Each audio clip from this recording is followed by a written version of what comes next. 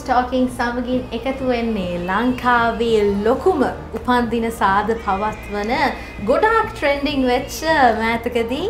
නමුත් ගොඩක් ටැලන්ට පර්සනලිට එකක්. ඒ තමයි චන්දිමාල් ජයසිංහ. අයිබෝන් අදරෙන් පිළිගන්න වැඩසටහන්නට දැන් චන්දිමාල්ගේ බර්ධ පාටිස් ගැන හැමෝම දන්නවන. දැන් නමුත් චන්දිමාල් ගොඩක් වැඩ කරලා තියෙනවා මේ තත්වට එන්න. මේක ම ඇතරම දැනගන්නේ චන්දිමාල් සොලාන උපනික රෝසි සේනානායකක මං ඉන්ටවිව එකක් කරනවා. එතනදි රෝසි සේනානායක කියනවා චන්දිමාල් කියන සිරස ඩාන්සිං ස්ටා තරගේ බැක්ස්ටේජ් නම් ඒහේ අපි ලස්සනටම දැකපු රියලිටි ෂෝ එකක ඒ තරු ලස්සනම කරපු එකනා තම ඔවා කියලා. ඉතින් මේක ගොඩක් දෙන දන්නෑ දැන් චන්දිමාල් කොහොමද ශේස්ත්‍රයට එන්නේ සහ දැන් බර්ධ පාටිකින් පොපියුල් උනාටවා ඔයාගේ වැඩ අතින් ඔයා කොයි වගේ වැඩසටහන් වලටද දායකත්ව ලබා දීලා ඔව් මම ඉඳන් මුලින්ම මම ගෙදර පොඩි සලෝන් එකක් කරේ. ඉතින් ඕනම කෙනෙක් එහෙම තමයි පටන් ගන්න. ඉතින් ඒ කරගෙන ඉන්න අතරතුර මට හම්බෙන් ආටිස් කෙනෙක් ගංගු රොෂාන කියලා ආටිස් කෙනෙක් හම්බ වෙනවා. ඉතින් එයා හරහා මම හිතන්නේ 2004 වගේ සිරස ඩාන්සිං ස්ටා වැඩසටහන සරහා ඇය සමග මං එම වැඩසටහනේ මේකප් වලට යනවා. එද ඒ ගියාට පස්සේ එතනදී අඳුරගන්නවා මහිතන කලාශේත්‍රය ගොඩක් අයව.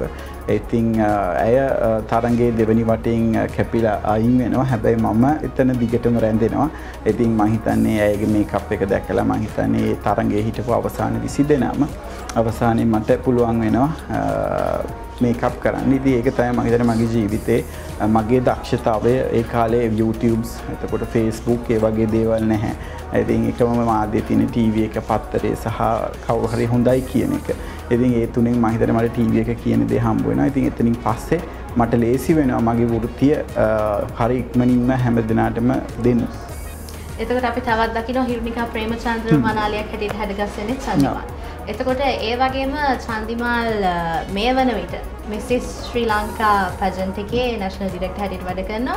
දැන් මේ අවුරුද්දේ පජන්ට එකරත්වා ලැස්සෙන මොනවද ඒ ගැන කියන තියෙන විස්තර? කොහොමද මේ පාර පජන්ට එක වෙන්න බොහොම අසීරුයි මේ අවුරුද්දේ. මොකද දැන් මගේ මේ තුන්වෙනි අවුරුද්ද. එතකොට පැන්ඩමික් එකක් එක්ක කොවිඩ් එක්ක මහිතන්නේ ස්පොන්සර්ස්ලා ඒ හැම කෙනෙක්ම බොහොම අමාරු තැනක ඉඳලා මේ අවුරුද්දේ තමයි ආයිමත් back to normal උනේ හැබැයි දැන් ආයි third wave එකක් ඇවිල්ලා තියෙනවා. ඉතින් හැබැයි මොන දේ වුණත් මම හිතන්නේ ලංකාවේ කැරලයින්ගේ ජයග්‍රහණයෙන් පස්සේ පැජන් කියන දෙයට ලොකු තැනක් හම්බ වෙනවා. ඉතින් ඒ නිසා මම වාසනාවන්ත වෙනවා එම තරංගාවලියේ ජාතික අධ්‍යක්ෂකවරයා විදිහට මගේ යුතුකම හරි විද්‍යතිෂ්ට කරන්න. ඉතින් මං ගොඩක් සතුටුයි කියන්න ඕනේ.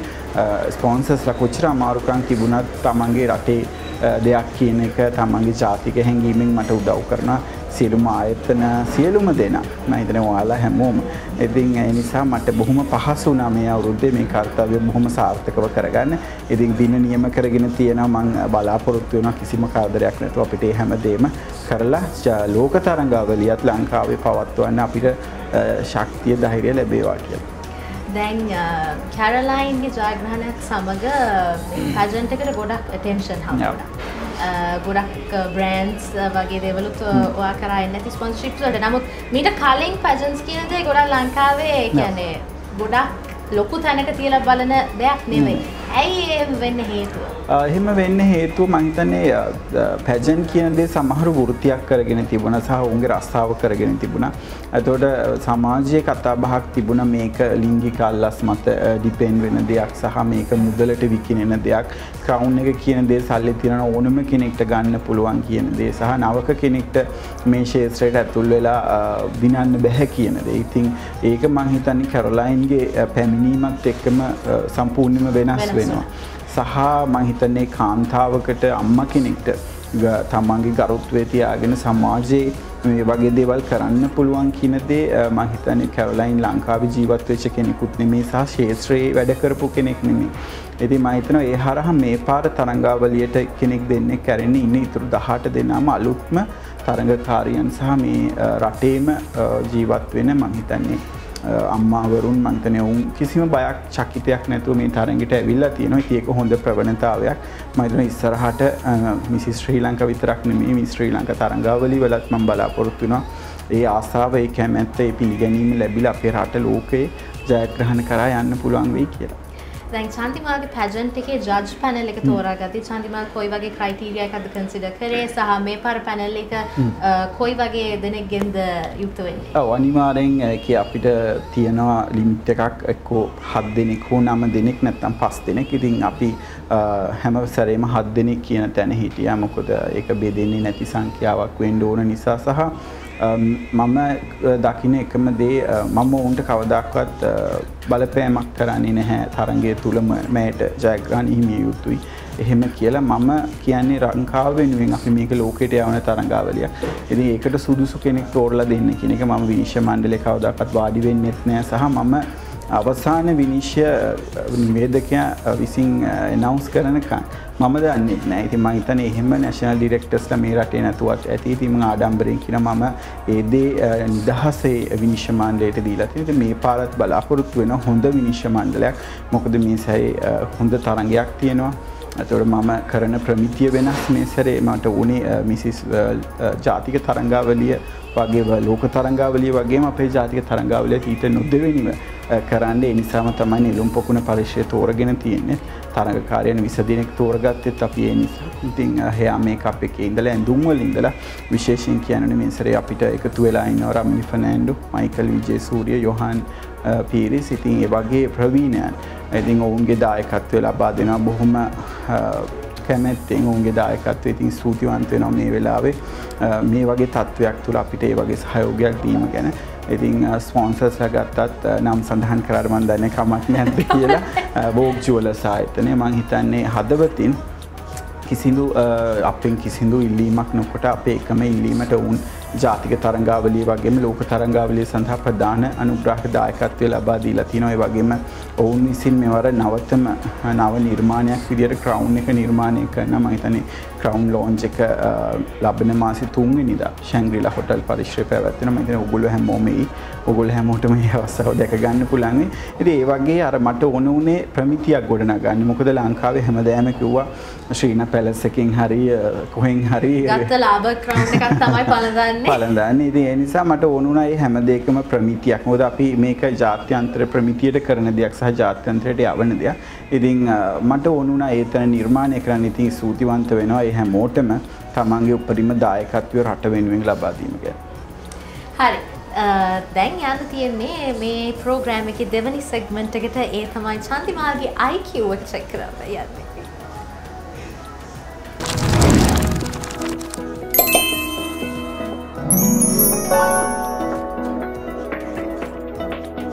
දැන් වෙලා වෙලා තියෙන චන්දිමාගේ IQ එක කොහොමද කියලා බලන්න. කොහොමද ෂේප් ෂේප් ෂේප් නේ මං හරිම ලේසි ප්‍රශ්න පහක් ගන්න ලංකාව ගැන ඉතින් කිසි බය වෙන්න දෙයක් නැහැ. පළවෙනි ප්‍රශ්නය. ශ්‍රී ලංකාවට නිදහස ලැබුණු දවස සහ වර්ෂය. 1948 පෙබරවාරි 4 වෙනිදා. ශ්‍රී ලංකාවේ ජාතික වෘක්ෂය. ජාතික වෘක්ෂය. ගස. ජාතික පුෂ්පය දන්නවා ජාතික පක්ෂිය දන්නවා. ජාතික ගස. ඇත්තරම් මතකන ගස හරිකවන්න ඊළඟ ප්‍රශ්නය. දැන් ශ්‍රී ලංකාවේ ජාතික ක්‍රීඩාව කුමක්ද කබඩි. නෑ. තව එක චාන්තිකද එල්ලෙ ක්‍රීඩා? ශ්‍රී ලංකාව ජාතික ක්‍රීඩාව තමයි වොලිබෝල්. වොලිබෝල් ඊළඟ ප්‍රශ්නය ගුරුත්වාකර්ශණය සොයාගත්තේ කවුද?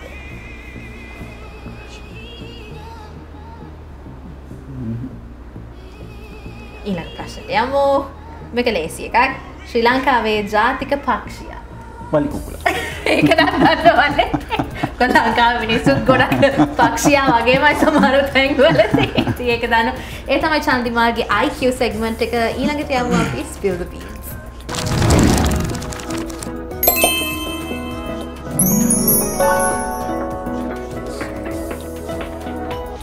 දැන් චන්දිමාල් එක්ක ස්පිල්ද බීන්ස් කරන්නයි වෙලාව ඇවිල තියෙන් දැන් චන්දිමාල්ක බර්ඩ පාටික් හැමවරුදුම ට්‍රෙන්ඩිං යන එකක්නේ ඇයි මෙහෙම ලොකුවට උපන්දින උත්සවයක් ගන්න හිතුනේ? පලවෙනි පාටිය කියලා පලවෙනි පාටිකෙන් දම්ම නෙම්මෙයි මහිතන්නේ ඔය අන්තිමට දෙදස් දහටේ තිබුණේ රෝයල් බර්ධ පාටික ඒවෙදදි මහිතන ශැංග්‍රිලායක ඕපන් කරලා මාසයක් දෙකක් වගේ. ඉතිං ඒගොලොත් කිව්වා මේ විදියට හොඳ වැඩක් කරමු කියන එක සහ මගේ ශේත්‍රයේ මට තාම් වෙඩින්න එකක්ම අරගෙන නැති නිසා ම අවුදු විස්සක් මගේ ශේත්‍රය හැමෝ එක්කම වැඩ කරලා තියෙනවා. ඉතින් ඒ හැමෝම ඔවුන්ගේ උපරිම ඉනිටේෂන් එක ඉඳලා කේක් එකේ ඉඳලා මගේ ඇඳුමි ගත්තත් ඒ හැමදේම උන් කරන්න පුළුවන් උපරිමය කරන මොකද මේක හැමෝම බලනවා කියලා දන්න නිසා. හැබැයි මේක වෛරල් යයි මේක හිට් එකක් වෙයි මේක පහෝදාට වෙනුම් අහන වෙන දෙයක් වෙයි කියලා කවදක්වත් හිතුවේ නෑ. ඉතින් අවුරුදු ගාණක් එක දිගට කරපු දේ. මම හිතන්නේ පැමිණිය පැමිණි පිරිස ගොඩක් ලොකු පිරිසක් වුණා. සහ තැන අලුත් තැනක් වුණා.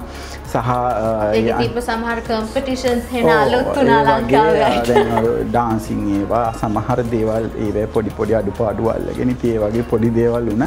ඉතින් මහිතන එක හොඳක් වුණේ කියන එක ගොඩක් දුරට මාව දන්නේ නැති බොහෝ දෙන මාව දැනගත්ත. සමට ඒකින් අද වෙද්දි මගේ ශේත්‍රයමට ඕනම දෙයක් කරදදි මාව හරි ලේසි අඳුන්නල දෙන්න. මාව හැමෝම දන්නවා. ඉතින් මට ඕන කෙනෙක සපෝට් එක් ගන්න ලේසි වුණ. ඒ දේ නරක නෙමේ මම හොඳ අරගෙන ජීවත් වෙනවා. ඉතින් මම එතනින් පස්සේ බර්ධය පාටිස නැවැත්තුවෙත් නැහැ. ඇද මයිතන දිගටම මට පුළුවන් දවසක් වෙනකම් උපන්දින පාටි ගන්නවා.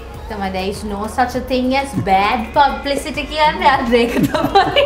චන්දිවා ගොඩක් ට්‍රෙන්ඩි ගුණ මේ බද පාටිස් නිසා. දැන් මං අහන්න කැමති ගොඩක් දෙනා කියන ගොඩක් දෙනා දැන් අපි වුණත් වගේ බර්ධ පාටි කව කරා. ඒ වීඩියෝ කියුණත් ගොඩක් දෙනා කමෙන්ට් කරලා තිනා මේ සල්ලි වලින් ඇයි දුප්පත් කට්ටියට කෑම දෙන්නේ නැත්තේ? එහෙනම් ඉගෙන ගන්න බැරිලා මේ පහසුකම් නැති ළමයින්ටයි පොත්පත් දෙන්න නැතේ අරකද මේකද කියලා. නමුත් ඔබ ගිය අවුරුද්දෙම මේ සංඝරත්නය වෙනුවෙන් වෙනම දානයක් දැන් ඒ වගේ දේවල් ඇයිවා දැන් මේ බර්ධ පාටික ට්‍රෙන්ඩ් වුණාට චන්දිමාල් කරන හොඳ දේවල් කවදාවත් ට්‍රෙන්ඩ් වෙන්නේ. දැන් චන්දිමාල් කුවරි ගමකට ගිහිල්ලා ගෙවල් හැදුවොත් ඒක ගැන කතා කරන්න කවුරුත් නැහැ. නමුත් හැමෝම ගෙදර ඉඳගෙන තමන්ගේ කීබෝඩ් එක තියෙන පළියට ගහනවා. ඇයි මේ සල්ලියව මෙහෙම කරන්නේ නැතිද ඒක ගැන මොකද කියන්නේ? ඒ ලංකාවේ හැටි මම දකින දේ තමන්ගේ අම්මගේ තාත්තගේ සල්ලි ඉල්ලගෙන රීලෝඩ් එකක් දාගෙන ඩේටා කාඩ් එකක් අරගෙන ඕන කෙනෙක්ට FB එකේ ඕන දෙයක් කරන්න පුළුවන්. හැබැයි මම කියන්නේ අවුරුදු 20ක් මම මෙතැන්ට අවිල්ල මාව ඕන කෙන දැනගති දෙදස් දහටේ බැයිට අවුරුදු දහටක්කට කලින් මං කොච්චර දුක්විඳලා තියෙනවද කියනදේ ම හොඳට දන්න මගේ අම්ම තාත්තමාව කොච්චර දුක්විඳලද හැදුව කියන එක දන්නේ මම එ මිනිස්සු අවුරු දහටකට එහා ඒ පුද්ගලය එතැන්ට ආවෙ කොහොමද කියනදේ ඒ කෙනාට ජීවිතය සතුටක් තියෙන්ඩ ඕනේ කියනදේ දකින්නේ නැහැ. මම අහන්නේ ඇයි ජනප්‍රිය පුද්ගලයන්ට විනෝද වෙන්න බැරිද. ඔවුන්ට කැමති දෙයක් අඳන්න බැයිට ජනප්‍රියත්වය කියන්දේ සතුට කියන දෙයට තහන මක්ද? ඉති මම එක ඇයි කියල මම දන්නේ නැහැ. හැබැයි මම ගොඩක් දුක්විඳපු කෙනෙක් විදිට මම කැමති නෑ. මනුස්සේගේ දුක පෙන්නලා මට වීරයක් හෝ වීරයෙක් වෙන්න හෝ මට ලංකාවේ පොරක් වෙන්න මට අවශ්‍ය නැහැ. මගේ අම්මත් එක්ක මම මගේ ජීවිතේ මං සතුට වුණුවට වැඩිය මම පාටිදානට වැඩිය මම සමාජයට කරන්න පුළුවන් දේවල් පින්දහම් මං අනිවාර්යෙන් ඕන තරම් කරලා තියෙනවා. හැබැයි මම කවදාවත් මිනිස්සෙක්ට බත් පැකට් එකක් දීලා කෙනෙක්ගේ දුකට පිහිට වෙලා ඒ දේ බීදාලා මං ඒ සතුට ඒ ප්‍රචාරය ගන්න මං කැමති නැහැ. මොකද මගේ අම්ම තාත දුක්විඳ පැටි මන් දැකලා තින ම දුක්විඳ හැට දැකලා තින ති ම ලෝකට පෙන්න්නනන පෙන්න්නන්නේ සතුට සහ ලස්සන. මං කැමතිලා ලෝකෙට දුක පෙන්නලා ලෝකෙට දුක කියලා ජනප්‍රිය වෙන්න. ඉතින් ඒක තමයි මගේදේ ඉතින් කවරු මොන දේකවත් මම දන්න මගේ හරද සාක්ෂිතක ගව මම කවුද? මම හම්බ කරන්නේ කොහොමද? මම ජීවත් වෙන්නේ කොහොමද කියලා. ඉති මිනිසුට ඕන දෙයක් කියන්න පුළුවන්. ඇති මම මේ වෙද්දි මහිතන මගේ රට බෙනුවෙන් අවුදු තිස් පහකට පස්සේ මගේ රට ලෝකේ පලවෙනිය කරන්නමට පුළුවන් වුණ. ඉදි මංහිතන්නේ තරුණෙක් විදිහට මේ රටේ පුරවැසියෙක් විදිහට මම මිනිසුමට මොන්න දේ කිව්වත් අවුදු විස්සක් වෙදි තරුණයක අන්ඩුවන තැනට ම ගිහිල්ල තියෙන මගේ ජීවිතේ මං විඳින්න ඕන හැමදේම විඳලා තියෙන මගේ දෙමවපියෝ සතුරු කරලා තියෙනවා. මේ රටට බරක් වෙන්නතු රජයකට බරක් වෙන්නතු ම මගේ ගමන ඇවිල්ල තියෙන ඉතින් මම එහෙම ඇවිල්ල මගේ ආත්ම තෘප්තිය මට හොඳට ඇති. මට මිනිස් කියන දෙවල් වැඩක්නෑ ඔමන් ගොඩක් චන්දිමාගේ අගය කරන එක් දෙයක් තම චන්දමාගේ හැම පාටිකටම චන්දිමාගේ අම්මවත් චන්දිමාල් වගේ මරේ රෝයල් විදිහටම අම්මවත් ක්වීන් වගේම ඒ මේ තියන්න ඕන තැන තියතින එක මහිතන ගොඩක් අගේ කරන්න ඕන. දෙයක් තමන් අහන්න කැමති චන්දිමාගේ චන්දිමාල් දැන් මේ අවුරුදු ගානක් තිස්සේ මේ ශේත්‍රයේ ඉන්න කොයි වගේ චලෙන්ජස්ද චන්දිමාල්ට ෆේස් කරන්න වෙලා තියෙන කොයි කොයි වගේ අයද චන්දිමාට සපෝට් කලා තියෙන මේ ගමනෙන් සපෝට් කරන අය බොහොම අඩුයි. හැබැයි මං කියන්නේ අභියෝග මං මේ ශ්‍රේෂ්‍ර ආපුදා ඉඳල තියෙන දෙයක් අදටත් තියෙන දෙයක්. ඉතින් මං මම ජීවිතය අභියෝගවලට හරි කැමති ජීවිතය අභියෝග චලෙන්ජ් කියන දේවල් නැතුවුණොත් අපිට මෝටිවේෂන් එකක් නැහැ. අපිට හැමදේම පාට ලැබෙනවනම් අපිට ඒ දෙවල අගේකුත් නැහැ.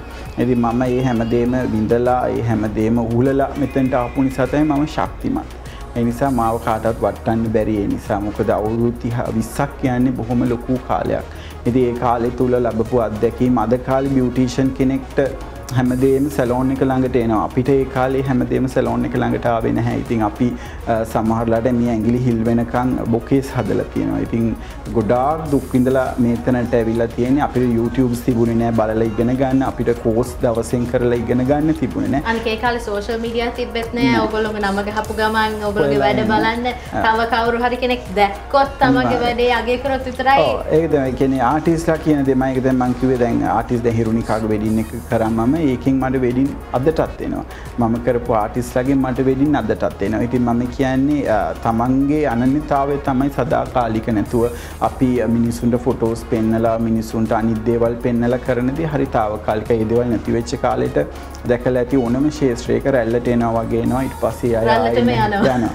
එති එනිසා අවුදු විස්සක් මහිතන්නේ ක්‍රයන් කියන කෙනා එක ඔවුන් එක තීච බැඳීමේ හැමදේ එකමගෙන කලා ශේත්‍රය ගත්තත් මගේ වෘතිය හැමෝම ගත්තත් මං අවුදු විස්සක් තුළ උන් එක ලොකු බොන්්ඩ එකක් තියෙන අදටත් එහෙමයි.